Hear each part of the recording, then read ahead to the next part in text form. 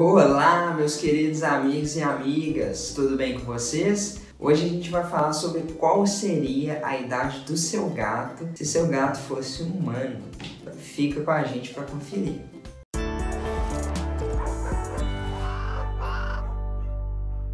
Bom pessoal, meu nome é Marco, eu sou médico veterinário e fala para mim aqui nos comentários quantos anos o seu gato tem. Joga aqui que a gente quer saber e a gente vai converter essa idade em idade humana para você saber qual é a idade do seu gato. E a gente sabe que hoje, com o avanço da medicina veterinária, avanço da medicina humana, também do conhecimento que vocês têm sobre os animais de estimação, eles estão sendo cada vez mais bem cuidados e isso é maravilhoso. E consequência desse cuidado, da preocupação, eles vivem mais. E é uma curiosidade pertinente essa nossa. A gente sempre quer saber quantos anos o gato teria se ele fosse um humano, já que a gente sabe que os animais vivem menos que a gente e, consequência disso, eles envelhecem mais rapidamente também. E esse cálculo, além de curioso, ele ajuda também a gente a ter noção se nosso gato está filhote, adulto ou idoso. Isso é importante para a gente redobrar a atenção caso ele seja um idoso, por exemplo, que aí a gente teria que fazer um check-up regular para a gente detectar alguma doença que ataca esses gatinhos idosos de modo mais precoce, aumentar a longevidade deles. E você vai aprender a calcular isso hoje e na prática para descobrir a idade do seu gato. Então já deixa seu like aqui e se inscreve no nosso canal, que aqui tem informação valiosa toda semana. Vamos lá, idade de gato versus idade de humano. O primeiro ano leva o gato à final da adolescência e o segundo ano leva o gato à fase adulta. Como você faz esse cálculo? No primeiro ano do gato, ele tem 12 anos. No segundo ano do gato, ele já é adulto, então ele tem 24 anos. A partir daí, você pode começar a contar de 4 em 4 anos. Então, um ano humano equivale a quatro anos dos gatos. Vamos exemplificar melhor. Um gato filhote, por exemplo, quando ele tem um mês de vida, é como se fosse um neném de um ano. Entre o segundo e o quarto mês de vida, é como se fosse um neném de dois a três anos. Aos seis meses, ele teria uns seis anos, mais ou menos. Quando completar um ano, ele teria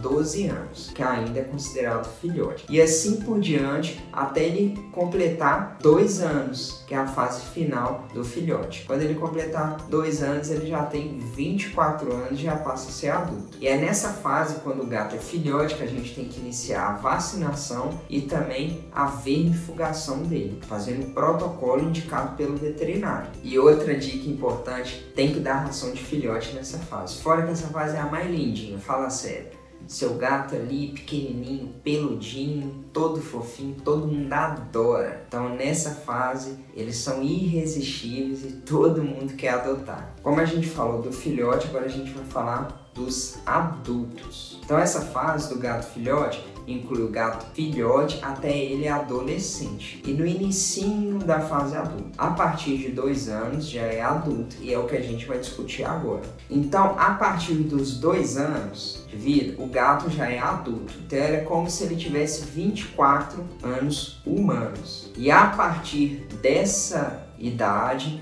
a cada um ano dele, você pode aumentar quatro anos humano. Por exemplo, dois anos equivale a 24 anos humano. O gato com 3 anos, 28 anos humano. O gato com 4 anos, 32 anos humanos. E assim por diante, até ele entrar na fase idosa. E o gato é adulto até os 11 anos de idade. Então, só um exemplo para vocês fixarem a conta. Vamos supor que seu gato tem 10 anos. Nos dois primeiros anos, como a gente falou, ele tem 24 anos. Então, você pega 10 anos dele menos os dois primeiros anos, o que dá 8. A gente não falou que a cada ano, a partir de 2 anos de idade, equivale a 4 anos humano? Então, o que, que você faz? 8 vezes 4 é igual a 32. Esses 8 anos equivalem a 32 e a conta passada até os 2 anos equivale a 24. Então, 24 mais 32 somando dá 56. Então, seu gato de 10 anos teria 56 anos se ele fosse um ser humano.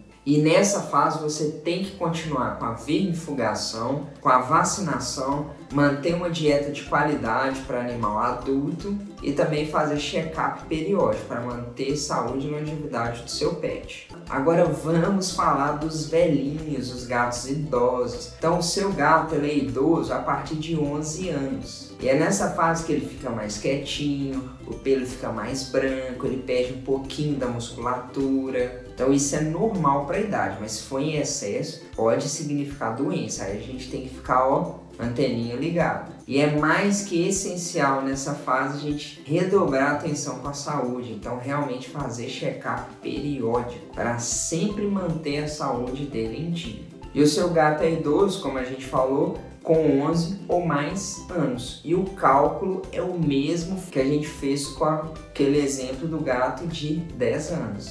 Beleza, pessoal? Vocês viram que é simples calcular a idade do gato. O que, que você tem que ter em mente? Nos dois primeiros anos, o gato ele envelhece mais rapidamente. Até o segundo ano, ele envelhece como se fosse 12 anos humanos. Já a partir daí, a cada ano são 4 anos humanos. Sabendo disso, você consegue calcular qualquer idade para gato. Espero que vocês tenham gostado do vídeo de hoje e compartilhe para o pessoal saber calcular a idade do gato também que além de curioso, como eu falei, é uma informação importante para a gente redobrar a atenção, principalmente com a saúde deles. Então, um forte abraço para todo mundo e tchau!